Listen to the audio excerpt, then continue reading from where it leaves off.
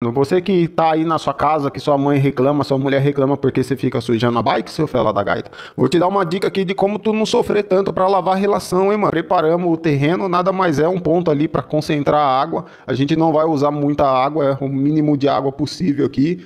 E fazer uma limpeza localizada. Palito de picolé aí, ó, para tirar a sujeira mais grossa. Isso vai te adiantar muito. Esse tipo de trampo, galera, precisa tomar alguns cuidados. Se for aqui um cassete que não é de rolamento, Toma cuidado aí com o excesso de desengraxante. Então a espuma ela dura mais do que você jogar o líquido e sem falar também que ela não escorre tanto quanto um líquido, né? O que é interessante. Então, ó, esse trampo aí vocês viram que eu joguei ali espuma desengraxante no cassete. Joguei porque esse cassete ele tem mais dificuldade de entrar dentro do cubo. Só que não é porque tem mais dificuldade que ele não entra, ele entra. E se entrar, rapa, desengraxante aí no seu free hub ou no seu pé de vela, mas o Roldana, mano, a, o desengraxante ele arranca a graxa.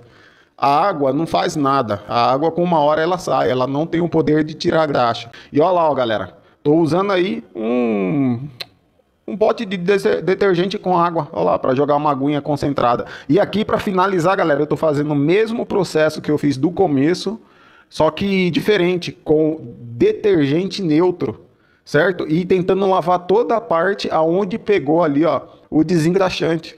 Que é justamente, dependendo do desengraxante que você usar aí, você pode danificar sua pintura, seu plástico e tal. Então, terminou ali o desengraxante, pô, passa ali um sabão neutro ali em toda a parte onde pegou o desengraxante e já era. Olha aí, fala aí como ficou.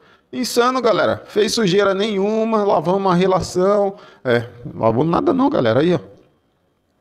Tá doido, mano. Tive que lavar de novo, galera. Adiantou foi nada, só empurrou a sujeira para lá e para cá. E toma um ponto como referência ali na corrente e vai fazendo essa posição para frente e para trás, girando a corrente até completar a volta.